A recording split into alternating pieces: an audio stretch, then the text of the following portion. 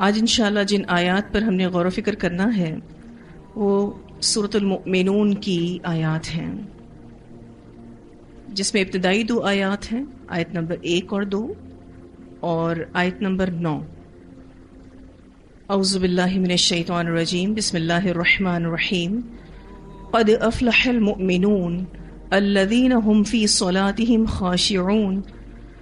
ये आयत नंबर एक और दो। और इसी टॉपिक का अख्ताम आयत नंबर नौ पर हो रहा है। वल्लदीन हम आला सलावातिहिम युहाफ़िज़ून। इन आयात में कामयाबी पाने वाले मोमिन की सिफ़ात बयान की गई हैं, जिसमें पहली सिफत खुश खजू के साथ नमाजें अदा करना और आखिरी सिफत नमाजों की पूरी तरह हिफाजत करना। इससे ज़ाहिर होता है कि नमाज़ का अल्लाह ताला के पास क्या दर्जा है? फलाह का टॉपिक शुरू नमाज़ से हो रहा है और ख़त्म भी नमाज़ पर ही हो रहा है। फिर अल्लाह सुबहान तला फरमाते हैं, यही वो लोग हैं जो जन्नत के वारिस हैं और जन्नत भी जन्नतुलफिरदौस जो जन्नत का आला हिस्सा है। तो नमाज़ों में खुशू इख्तियार करना, नमाज़ों की हिफाजत करना। हम देखते हैं कि बहुत से लोग अल्हम्दुलिल्लाह, अभी भी नमाज़ पढ़ते हैं। जहाँ हमें नमाज़ को छोड़ने वाले नज़र आते हैं, उसके बरक्स हमें बहुत सारे ऐसे लोग नज़र आते हैं जो नमाज़ पढ़ रहे हैं। लेकिन हम देखते हैं कि बहुत से ऐसे नमाजी हैं जो खुशू से आ रही हैं, नमाज़ की हिफाजत से आ रही हैं। एक रिवायत आती है, हज़रत अबू दरदा रज़ी तु फरमाते हैं कि नबी अक्रम सल्लल्लाहु अलैहि वसल्लम ने फरमाया, सबसे पहले जिस चीज़ का इल्म लोगों से उठा लिया जाएगा, वो खुशू का इल्म है।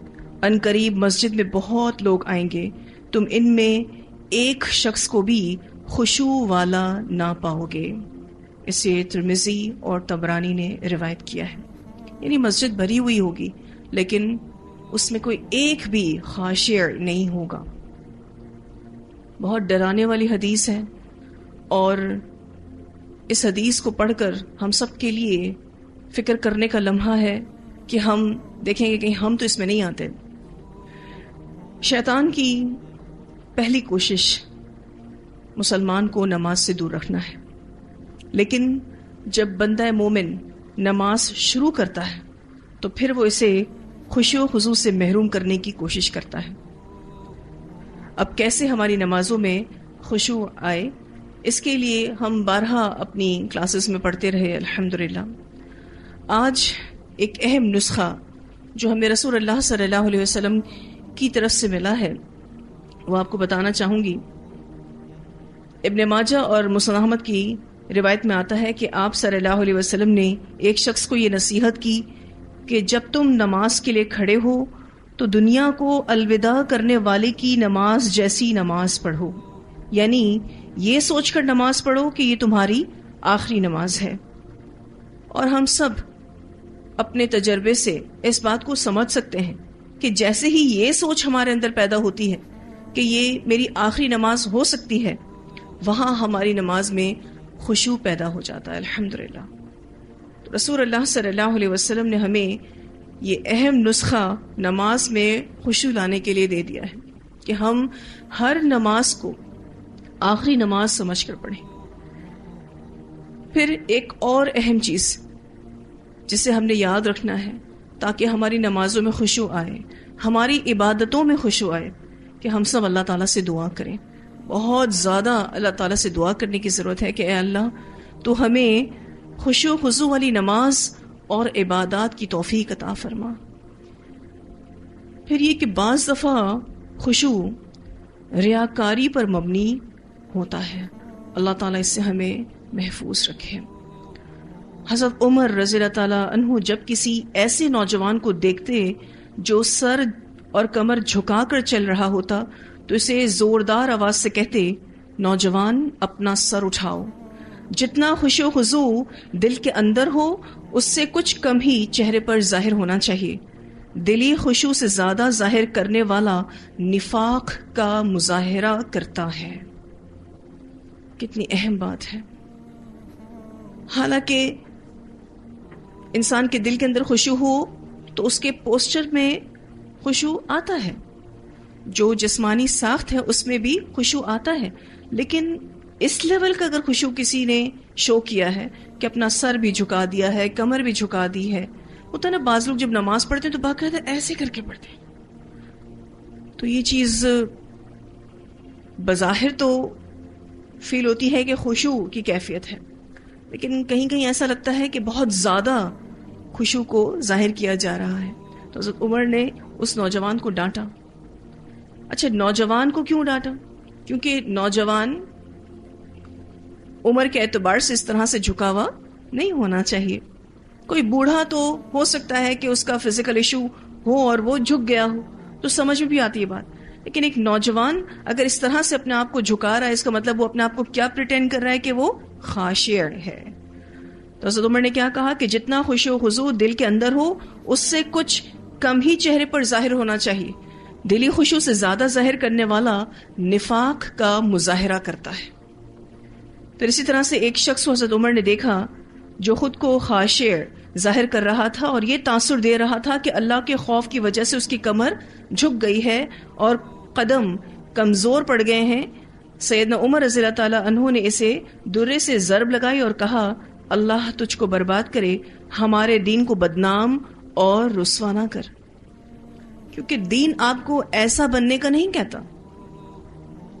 खुशो खुजू दरअसल दिल का फेल है, याद रखिएगा। जिसका असर जिसम पर ज़रूर आता है, जिसका असर मामलात में भी आता है, जिसका असर अखलाकियात पर भी आता है जिसका असर सारी इबादत पर आता है। इसी से ही तकवा और परहेजगारी जन्म लेती है। जब इंसान के दिल के अंदर खुशू होता है, यानी आजिजी होती है, नरमी होती है, रिक्कत होती है, उसी से ही तकवा पैदा होता है, उसी से ही परहेजगारी पैदा होती है। लेकिन नमाज़ में इसका ज़िक्र क्यों किया गया? वो इसलिए कि नमाज़ में इसका मजहर अच्छे से होता है। आप अपनी नमाजों में अपने खुशू को अच्छे से जाँच सकते हैं, चेक कर सकते हैं, अंदाज़ा लगा सकते हैं। हज़रत उमर रज़ी तु को हम बतौर मिसाल देख सकते हैं कि वो कैसे खाशियर थे, कैसी उनकी इबादत थी, कैसे उनके मामला थे, कैसे उनके अखलाकियात थे। और दर्जा आजिज मिजाज इंसान थे, बहुत ज़्यादा हम्बल थे। इनकी ज़िंदगी का अहम तरीन वाक़ इनकी शहादत का वाक़ है, जिससे नमाज़ में जो इनका खुशू था, वो भी पता चलता है। इनके दिल में दो आर्जुएँ थीं। एक आर्जू कि अल्लाह इनको शहादत नसीब करे, और दूसरी आरज़ू कि ये शहादत मदीना में ही नसीब हो, जिसकी ये बहुत ज़्यादा दुआ भी करते थे। लोग सोचते थे कि शहादत के लिए तो मैदान जिहाद में जाना होगा फिर मदीना में शहादत की ख्वाहिश की तकमील कैसे होगी? और वो इस बात का इजहार हज़रत उमर से किया भी करते थे कि आप ये दुआ मांगते हैं कि अल्लाह आपको शहादत दे और मदीना में दे। तो ये दोनों अलग अलग दुआएँ हैं। कैसे मुमकिन है? हज़रत उमर उनको ये जवाब दिया करते थे कि मुझे उम्मीद है कि अल्लाह मेरी ख्वाहिश ज़रूर पूरी करेगा। अब वो दिन आ गया जब इनकी ख्वाहिश पूरी हुई। सैद उमर रज़ी तु फजर की नमाज़ पढ़ाने आए। उमर रज़ी तु ने नमाज़ शुरू की, सूरतुल पढ़ने के बाद सुर यूसुफ की तिलावत शुरू कर दी। हज़रत उमर को सुर यूसुफ बहुत ज़्यादा पसंद थी। जब आप रज़ी तु तिलावत करते हुए वबियत अनाहू मिनल हुजनी फहुआ कवीम पर पहुँचे तो आप रज़ी अनहु पर रिक्कत तारी हो गई। इतना रोए इतना रोए कि सबको रुला दिया। सारे मुक्तदी रोने लगे। हर आँख अश्क भर थी और मस्जिद की आखिरी सफ़ों तक हिचकियाँ बन गईं। इतनी ज़्यादा रिक्कत, आमेज, तिलावत हज़रत उमर ने की। जब आप रज़ी अल्लाह अकबर कहकर रुकू में गए तो मस्जिद में छुपा इस्लाम का दुश्मन जहर आलूद खंजर लेकर निकला।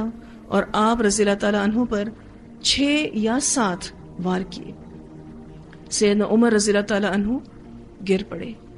और आपकी जबान पर ये अल्फाज थे हसबी अल्लाह ला इलाहा इल्लाहु अलैहि तवक्कलतु व हुवा रब्बुल अर्शिल लोगों को कुछ समझ नहीं आया क्योंकि हज़रत उमर रुकू में गए हुए थे। कुछ समझ नहीं आया कि क्या हुआ। एक तो अंधेरा था। और दूसरा, लोग खुशो खुजू के साथ नमाज़ में मगन थे। ये पॉइंट भी बहुत ही इंपॉर्टेंट है कि सारे के सारे लोग खाशे थे मस्जिद में। और खुशी खुजू के साथ अपनी नमाज़ में मगन थे। जब हज़रत अब्दुलरहमान बिन औफ रज़ी अनहु ने आगे बढ़कर नमाज़ पढ़ाना शुरू की, आवाज़ चेंज हो गई। हज़रत उमर की जगह अब किसकी आवाज़ आ रही थी? अब्दुलरहमान बिन औफ रज़ी की आवाज़ आ रही थी। तो लोग घबरा गए। नमाज़ में ही लोग परेशान हो गए कि हज़रत उमर को क्या हो गया है कि अब आवाज़ हज़रत उमर की नहीं अब्दुलरहमान बिन औफ रज़ी की आ रही है। इन हालात में भी नमाज़ को मुकम्मल किया गया। गो के मुख्तसरन मुकम्मल किया गया, लेकिन कंप्लीट किया गया नमाज़ को।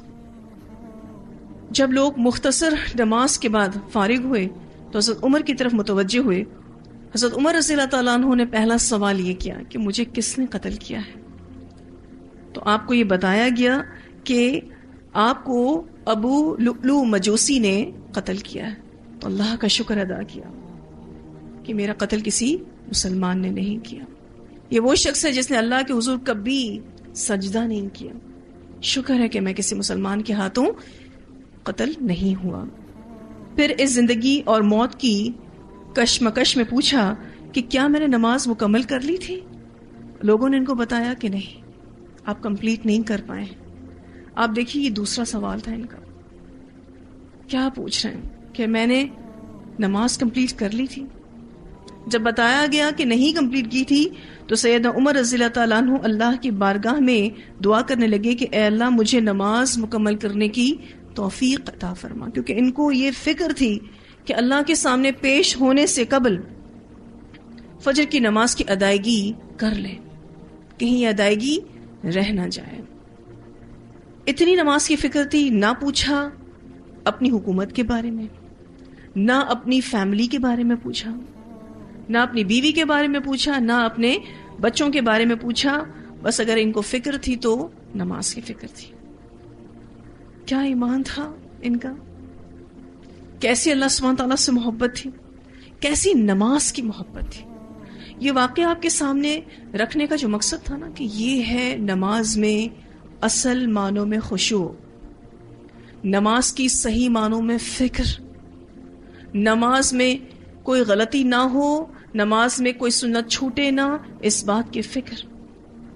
उसको अच्छे से मुकम्मल करने की फ़िक्र। अपने कामों की फ़िक्र नहीं थी इनको। हम सबने अपने खुशू का लेवल चेक करना है। क्योंकि जो आयात आज मैंने आपके सामने रखी है सूरतमिनून की, जिसमें फलाह की बात हो रही है। और अल्लाह सुबहान फरमाते हैं, कद अफलमिनून तहकीक फलाह पा गए मोमिन। और मोमिन कौन है? अल्लादीन हम फ़ीस सोलातिम खाशियान जो अपनी नमाजों में खुशबू इख्तियार करते हैं, जो सबसे अवलिन तरजीह पर नमाज़ को रखते हैं।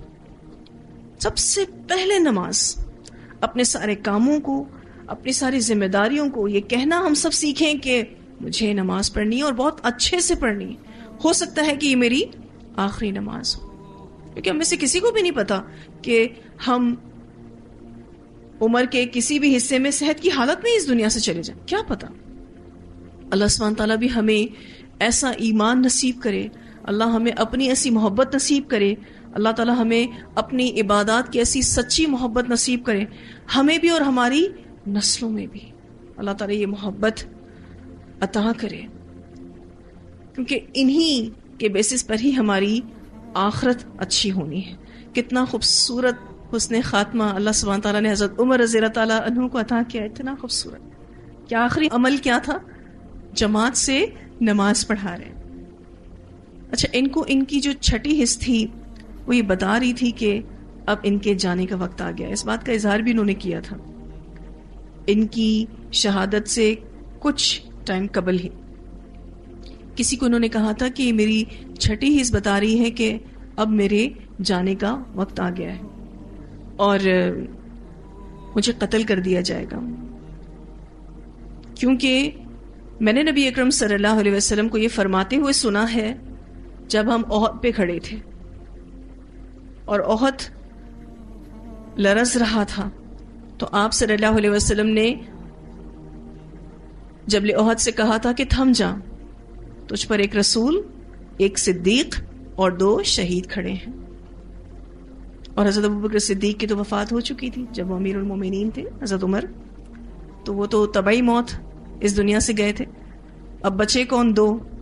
हज़रत उमर और हज़रत उस्मान, दोनों शहीद। कहा मुझे कत्ल कर दिया जाएगा। बस मेरी दुआ है कि मुझे कोई मुसलमान कत्ल ना करे। जब मैं इनका ये वाक़ पढ़ रही थी और मुझे बस यही था कि मैं इन आयात पर मज़ीद गौर फ़िक्र करूँ जो आज आपके सामने रखी हैं तो जैसा लग रहा था कि इस वाक़े के ज़रिए हम अपने खुशियों को बढ़ा सकते हैं। ये एक बेहतरीन मोटिवेशन है हमारे लिए कि अगर हमारी मौत हलक के पास भी पहुँच जाए ना। यानी हम इतने करीब हों मौत के तो भी हमें किस बात की फ़िक्र हो? नमाज़ की फ़िक्र और आपको पता है, जब मोमिन कब्र में चला जाएगा, और इसे मुनकर और नकीर हिसाब किताब लेने आएँगे, और उसको सिर्फ़ ये लगेगा कि शायद असर का टाइम हो गया है तो वो क्या कहेगा? मुझे नमाज़ पढ़नी है। तो फरिश्ते उसको क्या कहेंगे? बस अब ये नमाज़ पढ़ने का मामला तो खत्म हो गया। अब हमारे सवालों के जवाब दो। जो हम तुमसे पूछ रहे हैं। और जब उस मोमेंट से फरिश्ते सवाल पूछेंगे, ये तेरा रब कौन है? बता। तेरे पास कौन सा रसूल भेजा गया? बता दे। तेरा दीन क्या था? बता दे। और जब वो ठीक ठीक जवाब देगा तो फरिश्ते उसको क्या कहेंगे? पता है आपको? हमें पता था तो यही जवाब देगा। फरिश्तों को भी पता था, उसके किरदार को देखते हुए। कि वो यही जवाब देगा? अल्लाह में लोगों में शामिल करें। इतना बेहतरीन महीना चल रहा है रमज़ान का। जमात से नमाजें हो रही हैं, अल्हम्दुलिल्लाह। मस्जिदें भरी हुई हैं, अल्हम्दुलिल्लाह। अल्लाह ताला सारा साल मस्जिदों को यूँ ही आबाद रखे। इतना खौफ आता है कि जब रमज़ान मुबारक में मस्जिदें भरी हुई होती हैं, लेकिन जैसे ही ये रमज़ान ख़त्म होती है, दोबारा से मस्जिदें वीरान हो जाती हैं। और जो हदीस मैंने आपके सामने रखी, जिसमें मस्जिद तो भरी हुई है, लेकिन खाश एक भी नहीं। तो डर लगता है कि अभी तो मस्जिदें भरी हुई हैं। अल्लाह ना करे कि वो वक्त आ गया हो, क्योंकि ये वक्त आएगा। लोग सिर्फ़ और सिर्फ़ दिखावे की नमाज़ पढ़ लेंगे कोई और रीजन होगा ही नहीं। और अगर खुशू नहीं है नमाज़ में तो बचा क्या नमाज़ में? आज कितनी चीज़ें हमारे दिमाग में चलती हैं जब हम नमाज़ पढ़ होते हैं। अभी आप रमज़ान के महीने में ही देख लीजिए। अभी तो शैतान बंद है। जो मेन शैतान है इबलीस वो तो जकड़ दिया गया। और बड़े बड़े शयातीन भी जकड़ दिए गए हैं। आप ये कह सकते हैं कि शैतानी एक्टिविटीज़ को कम कर दिया गया है। या यूँ भी कह सकते हैं कि खत्म कर दिया गया इनकी ताकत को सल्ब कर दिया गया इनकी पावर्स जो है वो रोक दी गई अब तो बहुत बेहतरीन मौका है अपनी नमाजों को, अपनी इबादत को। अपने हिसाब से चेक करने का कि कितना हमारी अपनी ख्वाहिश नफ्स के तहत हम जी रहे हैं और कितना हम शैतान के जेर असर है। नमाजों को ही चेक करते हैं तो पता नहीं कितनी बातें जहन में आती बातनी इसबाब भी है नमाज़ के खुशबू को डिस्ट्रैक्ट करने की। और खारजी इसबाब भी है। दोनों एतबार से अपनी नमाज़ को जब पढ़ने बैठे ना इन इसबाब को कंट्रोल करते हुए नमाज़ पढ़े। बातनी इसबाब क्या है? आपको शैतान कोई ना कोई बातें याद कराएगा। और एक सहाबी को ये चीज़ इतनी ज़्यादा फील होती थी कि नबी अकरम सल्लल्लाहु अलैहि वसल्लम ने बाकायदा इनको कहा कि अपनी बाएँ जाने तीन बार थूको। एक शैतान है, जिसका नाम खिंजब है, जो आता है नमाज़ में आपको डिस्ट्रैक्ट करने के लिए।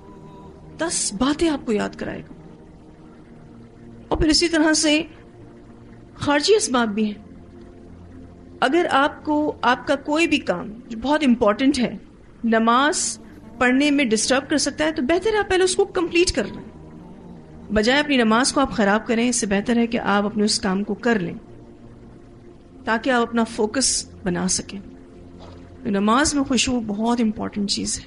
इसके बगैर नमाज़ की खूबसूरती ख़त्म हो जाती। है नमाज़ की जो क्वालिटी है, वो ख़त्म हो जाती है। कोई भी चीज़ अगर क्वालिटी बेस्ड नहीं है तो अल्लाह कैसे उसको कबूल करेगा? कभी कभी आप नमाज़ पढ़ रहे होते हैं तो आपको इस बात का एहसास नहीं रहता, आपने क्या पढ़ा है? तो प्लीज़ इस बात को इग्नोर ना करें। आप उन तमाम पढ़ी हुई चीज़ों को जो आपको याद नहीं, दोबारा से पढ़ लें। ताकि आपका खुशू डेवलप हो, पैदा हो। ठीक है जी इन ताला। अल्लाह सुबहान ताला से दुआ है कि अल्लाह ताला हमें इबादत में खुशू नसीब करे, हर तरह की इबादत में खुशू नसीब करे। अल्लाह ताला हमें हमारे मामलात में, हमारे अखलाकियात में खुशू नसीब करे। अल्लाह हमें भी और हमारी नस्लों को भी ये खुशू अता करे। अल्लाह हमें हमारी नमाजों की हिफाजत करने की भी तोफ़ी अता फरमाए कि नमाज़ हमारी अव्वलीन तरजीह हो। और ख़ास तौर पर इसकी दुआ करते रहना। हर नमाज़ में। एक दुआ जो नमाज़ के लिए सिखाई गई है कुरान पाक में। रबी जाली मुकीम सोलाती वमिन ज़ुर्रियती। रब्बना व तकब्बल दुआ। इस दुआ को अपनी दुआओं में शामिल करें। अल्लाह सुबहान ताला हम सबको बेहतरीन अमल करने की तौफीक अता फरमाएँ। तो आज हम अपने इस गौर फ़िक्र के सिलसिले को यहीं पर ही रोकेंगे।